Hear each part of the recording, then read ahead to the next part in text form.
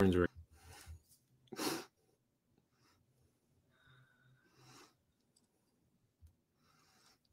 everybody. Welcome to Alumless. Thank you so much for tuning in.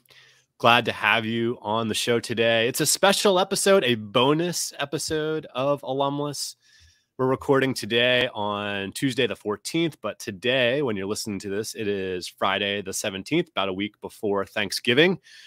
Uh, we thought we would, we got an announcement to make today. A great yeah, big news. Guest, which we're excited about. And, um, you know, we're, we're taking some time off before or for the Thanksgiving holiday. We won't be back in feeds until the second week of December. So we thought, you know what? Let's get another episode of Alumless in people's feeds. We know how rabid our fans are and how much they'd miss having Alumless on their feed on Friday at 11:30. So uh, we're we're here and we're excited to have you listening, tuning in. Uh, we will be checking in on the comments section today since we are not broadcasting live. If you have any questions for Chris or myself or our special guest today, Kim Infanti from uh, Syracuse University, we're thrilled to have the opportunity to chime in on those. Uh, before we get too far, I want to make sure to introduce our fantastic presenting sponsor. We, as engagement pros, are always thinking about how to create more volunteer opportunities. Reason for that is that volunteers give at two or even three times the rate. This is important, particularly for those alumni leaders working in integrated advancement models. We're trying to create a pipeline of donors. At the same time, students throughout their educational journey have questions and could use advice from alumni.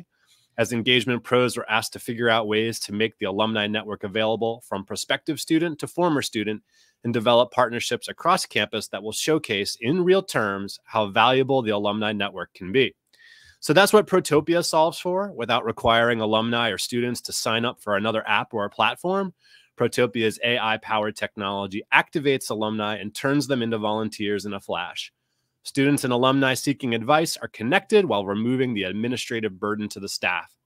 Protopia is the tool you've been looking for. Visit protopia.co forward slash alumless and be sure to mention that Ryan and Chris sent you. All right.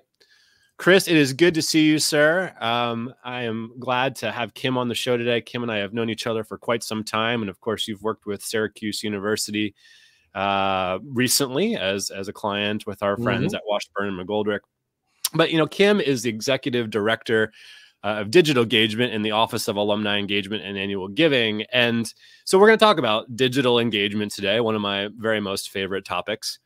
So let me ask you just this sort of topical to get us started. When I say the phrase digital engagement, what comes to mind?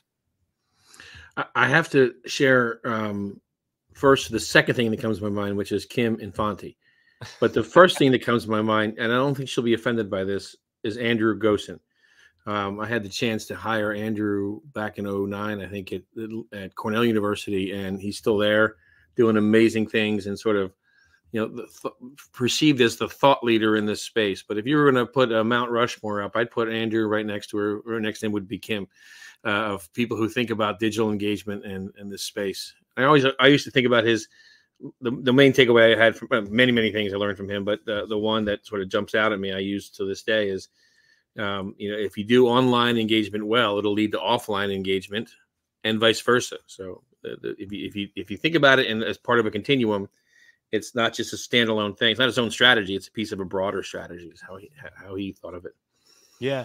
You know, and digital engagement is, is not a new thing, of course, right? We really had a kind of a ramp up of digital engagement and needing to think about it, um, you know, really when social media began to come into prominence in um, 2008, 2009. LinkedIn became a big thing, Facebook, right? MySpace kind of died away. Other platforms have come along, and, and we had giving days, right? So that was a yeah. huge program that kind of changed the way that universities think about digital engagement.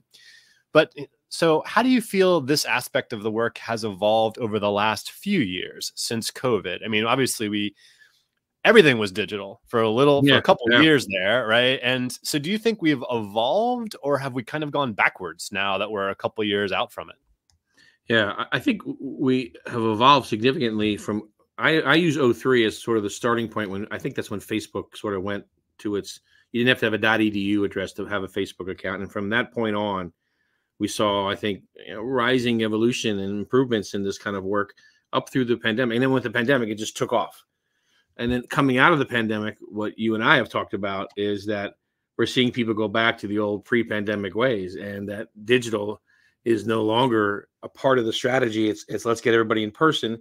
And I don't think it's something that we should abandon, but I don't think we should stay wholesale in either. So I, I do think we've taken a step back industry wide. I think there's exceptions at each at, at examples of schools where there's exceptions. Um, curious to see how Kim thinks about it at, at, Syracuse, but I think as an industry, we've taken a step backwards and, and relying too much on the old analog in person stuff. So I'm, I'm ready for more digital innovation, and I hope it's not a pandemic that takes it gets us there.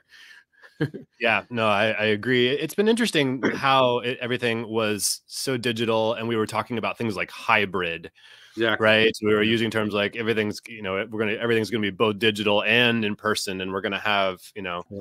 Um, and lots of things have kind of changed and, and I think circled back to the way things were pre-COVID in, in many ways, but in other ways not. So, but let's talk to Kim about it. She's our she's the, uh, an expert in the space. Hey Kim, how's it going? Hi guys, so good. How are you? Awesome. Great it's so great you. to have you on Alumless with us. Kim is the executive director of digital engagement at Syracuse University, specifically in the Office of Alumni Engagement and Annual Giving, which recently became One Team, which we're going to talk mm-hmm. about. Uh, yeah. So let's get to so many places we could start the conversation. Um, but I thought a good place to start would be a bit more about your role at Syracuse, how you're situated organizationally, and, and what maybe are some of your primary responsibilities. Well, first, I am ultra flattered by being named to the Mount Rushmore of digital engagement. That was super nice. I was texting the sculptor to see when he could start the build. Um, I, I no, I really appreciate that. So I uh, joined the alumni engagement team in 2015. Uh, was really our first communications role within the office, and uh, my leader at the time um, saw that this was kind of a, a need, uh, a huge need, and that it wasn't just about your traditional forms of engagement, but more so about how do we connect alumni who are not necessarily on this campus or living anywhere nearby, and how do we make sure that they stay uh, Forever Orange is the name of our campaign that we're currently in. So I am executive director of digital engagement. Until a few months ago, it was just for the Office of Alumni Engagement. Uh, but we have since welcomed the philanthropic engagement team to our team. So now it's annual giving um, as well. And so my day to day, I build a lot of emails um, from day to day. I also you know, when a school or college says, "Can we send an all alumni invite to our cocktail hour in Toronto for the film festival?" I'm like, "Okay, slow down. Let's uh, let's think about the audience for that email." So I help um, with a lot of the strategy for who's being invited to things and and kind of how we're using our digital tools to ensure that alumni, parents, friends, you know, you name it, stay connected to Syracuse. So every day is different, which I like. Having been a news reporter where every day was very different. Uh, it's nice to be in this role where things are constantly evolving. Yeah, I think the last time we we talked, um, uh, maybe a couple times, but I remember how much you were gearing up for the Giving Day that you had and Boost Cuse, right? And I think you were talking about live streams all day long, and you know, content creation and a really significant operation substantial amount of effort. But uh, what so what do you wish people knew or understood about the importance of digital engagement and advancement? The first thing that came to mind for me in thinking about this was that digital engagement is a lot more than social. I'm not just a girl who tweets a lot at events or X. Although you are good at tweeting. Thank you. Xing, you mean? Xing, or yeah. we say these? I don't know. Xing at events. Um, Still Twitter. it's, it's so much more than that. Like yeah everything we're doing from an event registration that's digital. From the net promoter score that we're sending out after events that's digital. From the you know lot instagram live that we're doing we just did our cuse 50 awards and you should have seen i was handling these awards solo trying to do an instagram story they're going so quick through 50 award winners and i'm trying so hard to tag every one of their companies and i just gave up.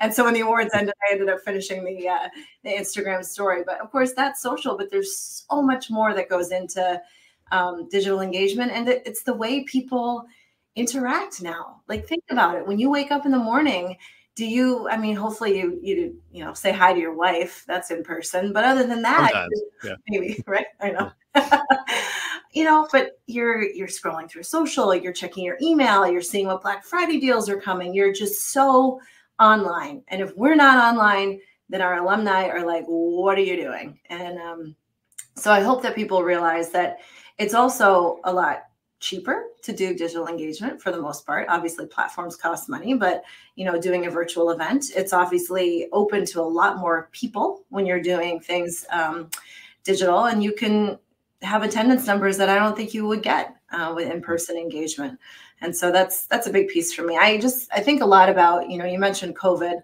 um, when we had only digital during covid 40% of our event attendees had never done anything with Syracuse before, yeah. ever. It was their first alumni engagement event.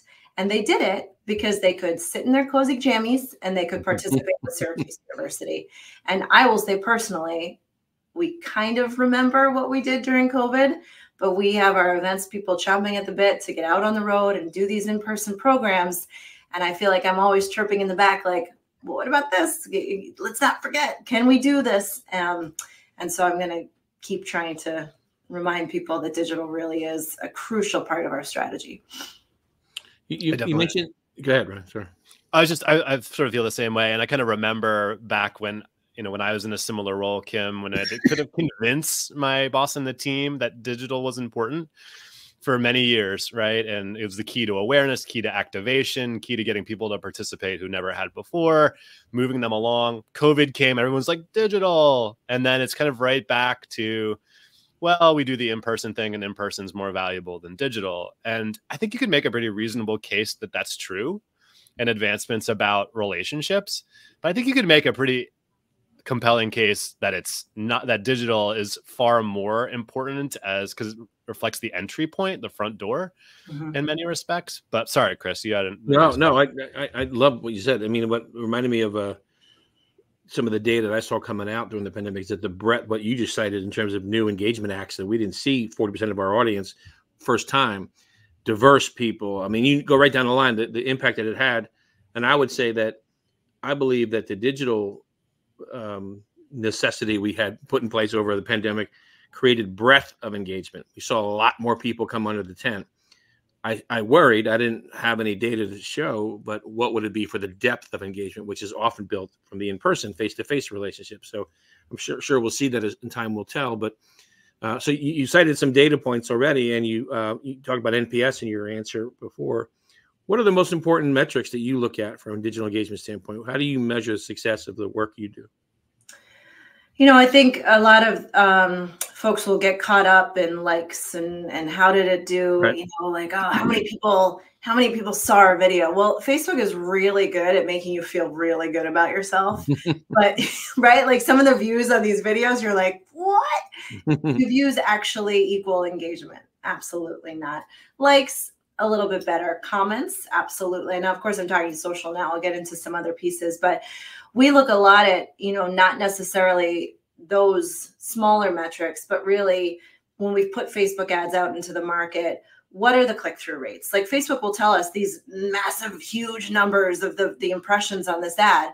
Well, how many people actually clicked and, and did something with that ad? Right. What is your engagement rate? And so that's what I and I will be the first to admit that we have a tremendous member of our team named Addie who came over on the philanthropic engagement side. And Addie is like she lives and breathes this stuff. And so mm-hmm. Addie's been really great at taking a look at some of our engagement metrics uh, when it comes to social media. And that's been huge for our team. You know, we look at the net promoter score and how people are filling that out after events and, and determining whether, you know, is this an event that we want to keep doing or is this something that, that was not a home run that we may need to. Yeah to stop doing. And I will say we have to do better at that, actually paying attention to what the net promoter score surveys have told us and not just saying like, okay, did the event, let's do it again, no matter what right. the survey says. Yeah. Um, so I think survey feedback is really important. Um, and I, you know, to me, the anecdotal metrics are really important too. The one alum who comments on a post who says, because of Syracuse University, I felt supported to XXX and I wouldn't be where I am without Syracuse University. That's a comment that he may not walk up to you at a cocktail party and be like, I'm here because blah, blah, blah. But on mm-hmm. social, like they, they will share things with you that can really open the door for the kind of engagement that will lead to long-term connection and eventually long-term philanthropy like i always look at our engagement metrics as like you know a step in the door what what are these people interested in and if they're going to show up at a cocktail party and you've done digital engagement really well they're going to know what's going on at Syracuse University. They're going to know what's important. Right. They're going to feel like they've they've been connected even if they haven't come out of their houses for 5 years because we've done a good job on digital. And that's what I kind of always have in the back of my mind um, in terms of what we're putting out there into the the online space. Ryan, Particularly if we ask people questions, right? Yes. Um, uh, Chris, I don't know. We always use the saying when we when we often work with clients is we want to you, you want to be talking with your alumni, not at them, right? And I think that has a lot to do. And the next question is about kind of how to use social media to communicate effectively with alumni and donors. But I often feel like teams do posts that are designed to get people a direct conversion, right? Where sign up for this thing, make this gift or there's a post that says, okay, watch this video or read this article, right? And neither of those things are you able to actually measure at the individual level. Now you are actually, because if you have tools like Oracle, Eloqua, or Salesforce uh, Marketing Cloud, right, you can actually see the individuals who are looking at your content. However, like when you ask people questions on social media and prompt them to comment, then that is a re- like that is a real sort of uh, engagement activity that we ought to be tracking if we can. It's kind of hard to wrap our arms around it. Mm-hmm. But so, what are your observations, Kim, around um, the way in which social media should play a role in engaging alumni and donors, and and when teams are underachieving when it comes to digital engagement on social, what are they likely doing? Putting a lot of content out there and never responding, and it drives me banana. And it happens within our team as well because we all we all go a million different directions. I'm hoping now that we have a few more hands on deck we can be better about this but we'll launch ads into the world and there will be comments on those ads and we just never get to them. That is a huge mistake. Like i'll own it. We have to get better at actually engaging what is it? it's digital engagement. It's not digital putting stuff out there and hoping that it hits. It's engaging with the people who are finding our content online. And so I think that's the biggest mistake putting the content out there and then forgetting to go back to it.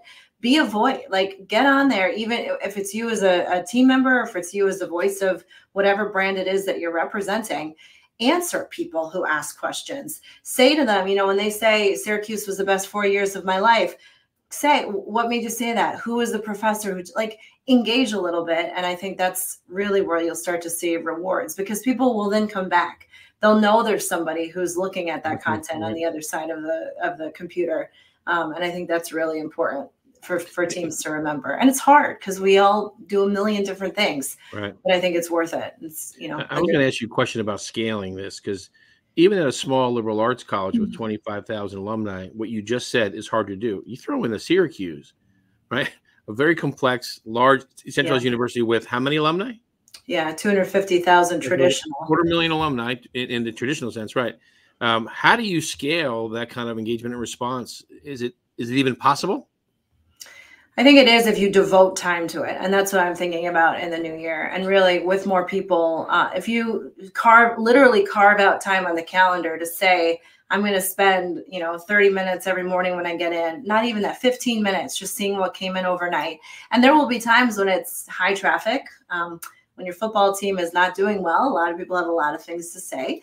Um, sometimes there's there's ebbs and flows. That's hypothetical, though, right? The volume. Although they won this past weekend, which was very exciting at Yankee Stadium. That was great.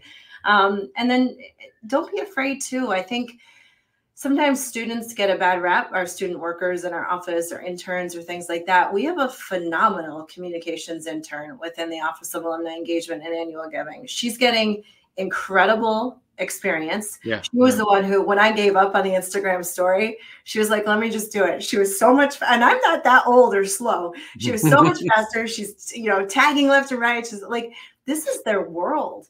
And think about the experience that they can get. And then you're also able to take a little bit off of your plate if you're able to entrust a, a student um, to get. And I am not about free labor in any way, shape, or form. We have a fabulous paid student intern who's getting tremendous experience yeah. and is good at what she does. Um, so shout out to Laura because I don't know what we would do without her. She helps us with emails, with our social, you know, just a lot of a lot of different pieces. So yeah, yeah. students are definitely critical mm-hmm. in helping to keep track of who those people are that are commenting, that are engaging with our posts on social media.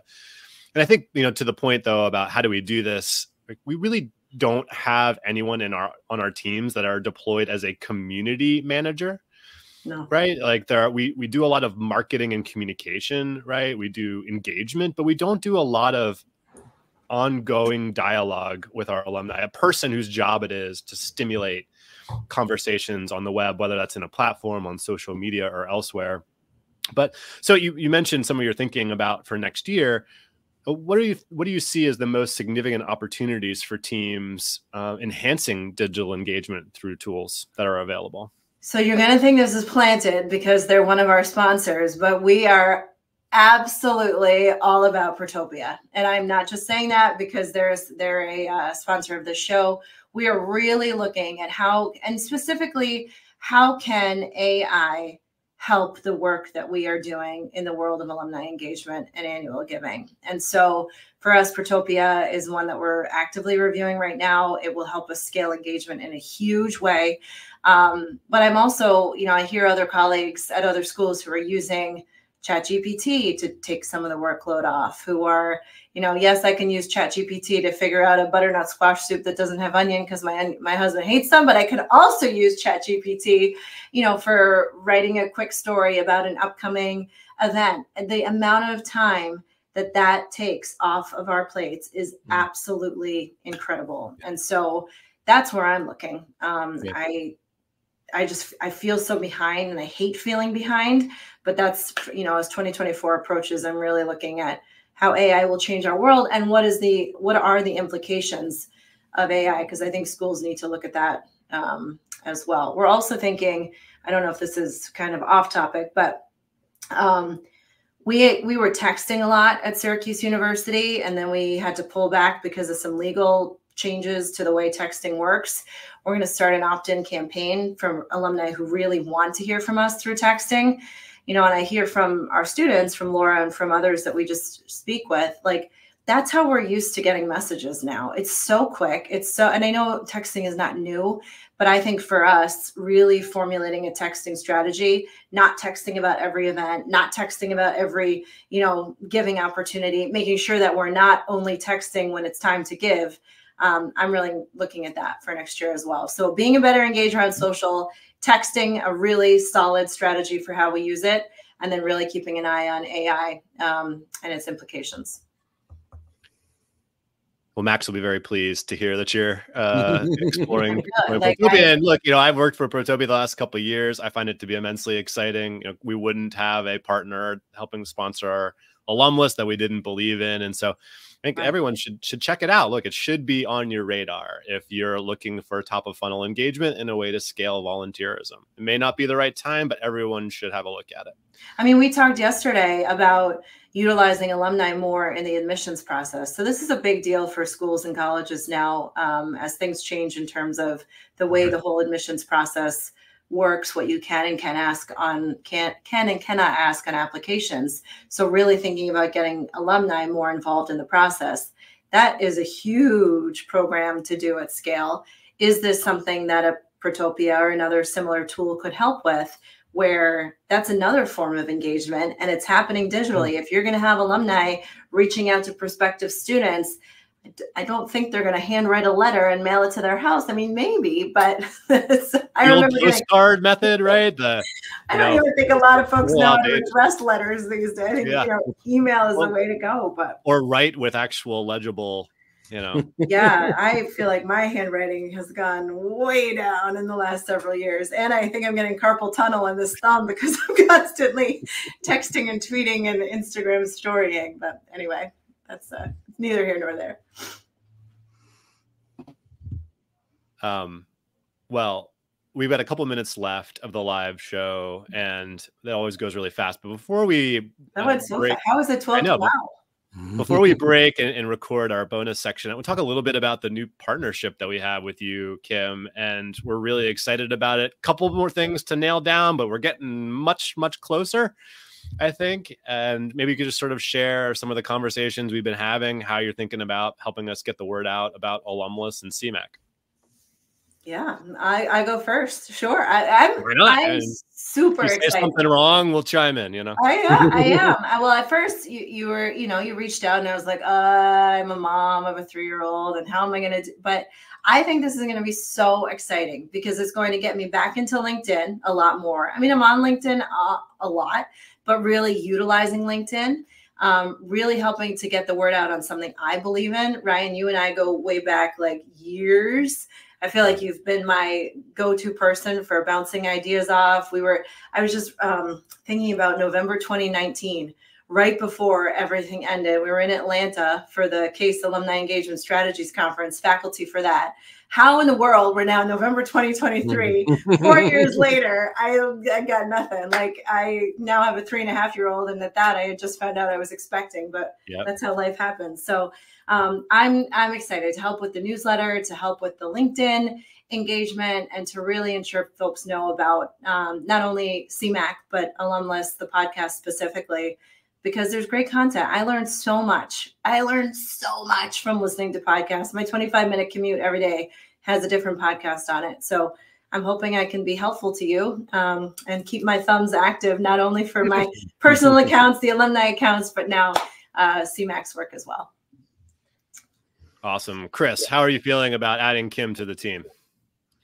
Um, there's no single word that I could I mean, ecstatic. I mean, probably the right word I'd put out there. Uh, it's going to be um, a game changer. There's another good word, game changer for us. And in terms of how, and Ryan, uh, just Kim, you need to know the little behind the scenes here. Ryan's been pushing me on this kind of thinking to go bigger and, and, and go broader and, and do the things that we need to do to grow as a company. And um, this is a one of the first steps we're taking in this regard that's going to i think get our content out more regularly and allow us to expand the operate and get the name of the brand all that uh, will be built through this effort. So i love that it's you. Let's, let's be clear to our viewers listeners that you are not leaving your job at syracuse. You no. are still full-time at syracuse and in a couple hours a month you're going to be spending with us you're going to help change the world for CMAC. no, no That's what I'm most looking forward to, Ryan. no pressure. Wow. Well, I'm incredibly excited, Kim. I've you know had the wanted to work with you in some capacity over the years. Uh, whenever I've had opportunities, uh, whether it's hey um, kim you want to go to australia and you know work with uh, case asia pacific or you know whatever it is I, I think of you first and so this is a chance for us to to partner up. And I, I think this is just the beginning, as Chris said. There's opportunities, you know, to to grow the content uh, that we've they're thinking about, yeah. and you know, provide more value because I think you know we've gotten great feedback on the value that teams are finding with this show and you know some teams planning their staff meetings around it or showing portions of alumless during their staff meetings and talking about it.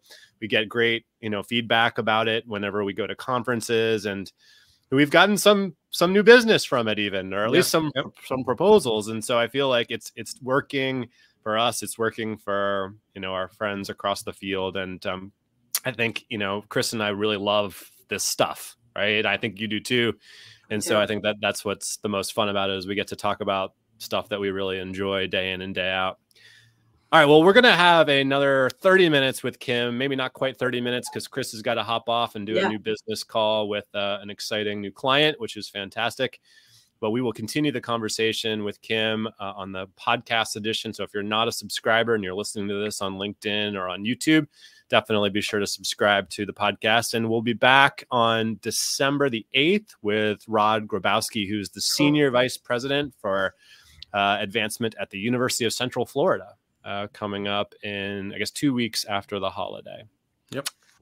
All right. Thanks, well, great to have thanks you. for listening. Kim, thanks for joining us on the live Thank show. You. Thanks for everyone for listening and um, exciting things to come. All right, everybody. See you later. Bye.